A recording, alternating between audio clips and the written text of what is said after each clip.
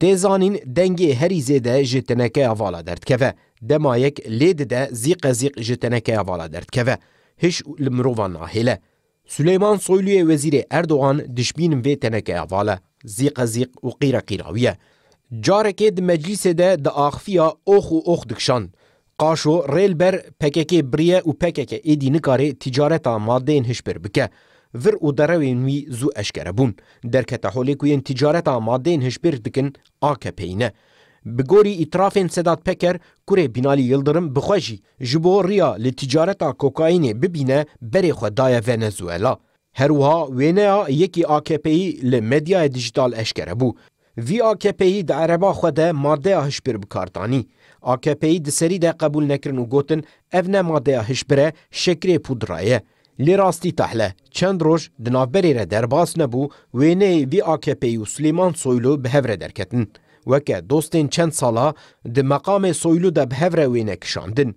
Li vê derê bimane baş bû. Êdî di ser hev de wêneyên Soylu bi kesên tarî re li medyaya dîjîtal hatine weşandin.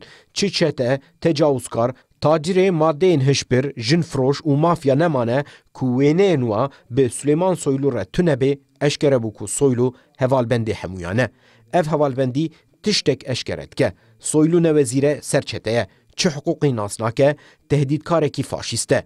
Di dîroka mirovayiyê de cûreyên Suleyman Soylu gelek in. Jiyana hemûyan jî li ser derew û komployan hatin amadekirin, hema bêje aqûbeta yek ji wana jî ne ya xêrê ye. Hinek ji van kesan xwe bi dehan sala li kozika ve şartine, hinek ji van bi salan di hepsa de mane, yên hatine sêdarkirin jî hene, di nava wan de yên xwedî herî xîret jî xwe bi xwe dawî li jiyana xwe anîne. Belkî tişt bi patron û reîsên wan nehatine, lê di encamê de Hemû tetîkkeşan heman aqûbet jî an kirine. Balkêş e, qîreqîra wan cûre însanan nêzî çûyîna wan zêdetir dibe. Dema însanên din rastiyê li orta çavê wan dixin, dîn û har dibin zêdetir tiqîrin.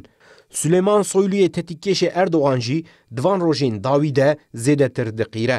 Êh madem diqîre em jî îlan bikin, ev teneke vala ye û her ku diçe zêdetir ditirse û dest bi qîreqîrê dike.